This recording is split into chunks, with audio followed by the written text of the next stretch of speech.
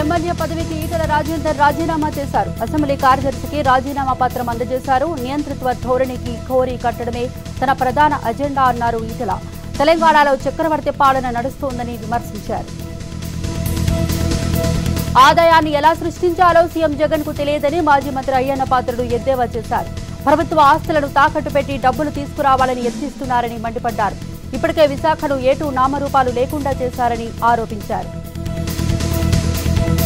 CM జగన్కి MP Raghuramakrishnaraju మరో లేఖ రాశారు. ఎన్నికల ముందు హామీ ఇచ్చిన వైఎస్ఆర్ పెళ్ళి కానుక షాదీ ముబారక్ పథకాలు వెంటనే అమలు చేయాలని డిమాండ్ చేశారు. ఓట్ల కోసం ప్రజలను వంచారన్న చెడ్డ పేరు తెచ్చుకోవద్దని హితవు పలికారు. ఎమ్మెల్యేగా ప్రమాణ స్వీకారం చేసి తొలిసారి యానాం వచ్చిన గొల్లపల్లి శ్రీనివాస్ అశోక్ ఘన స్వాగతం పలికారు నాయకులు కార్యకర్తలు. అనంతరం అంబేద్కర్ విగ్రహానికి నివాళులర్పించారు ఎమ్మెల్యే అశోక్. ఓల్డేజ్ హోంలో వృద్ధులకు వ్యాక్సిన్ ప్రక్రియ మొదలు పెట్టామన్నారు గుంటూరు జిల్లా కలెక్టర్ వివేక్ యాదవ్. జిల్లాలో కరోనా మహమ్మారి ప్రభావం తగ్గుముఖం పట్టిందన్నారు. మూడో దశను ఎదుర్కొనేందుకు సిద్ధంగా ఉన్నామన్నారు. మేడ్చల్ జిల్లా సామీర్పేట్ పోలీస్ స్టేషన్ పరిధిలో ఏర్పాటు చేసిన రక్తదాన శిబిరాన్ని ప్రారంభించారు బాలానగర్ డీసీపీ పద్మజ. ప్రాణాపాయ స్థితిలో ఉండే వారికి రక్తం అందించాలన్న ఉద్దేశంతో పోలీస్ శాఖ ఈ రక్తదాన శిబిరాలు ఏర్పాటు చేసిందన్నారు. భక్తులకు సులభతరంగా వసతి గదులు కేటాయించడానికి ప్రత్యేక కౌంటర్లను ఏర్పాటు చేసినట్లు తెలిపారు. టీటీడీ అదనపు ఈవో ఏవి ధర్మారెడ్డి. ఇవాటి నుంచే గదుల కోసం పేర్లు రిజిస్ట్రేషన్ చేసుకునే అవకాశాన్ని కల్పించామన్నారు. వీరబ్రహ్మేంద్ర స్వామి మఠం పీఠాధిపతి ఎవరనే అంశంపై ఉత్కంఠ కొనసాగుతూనే ఉంది. ఈ నేపథ్యంలో మఠానికి మరోసారి పీఠాధిపతుల బృందం వెళ్ళనుంది. వివాదం పరిష్కారానికి మరోసారి చర్చలు జరగనున్నాయి. విజయనగరం జిల్లాలో దారుణం చోటు చేసుకుంది.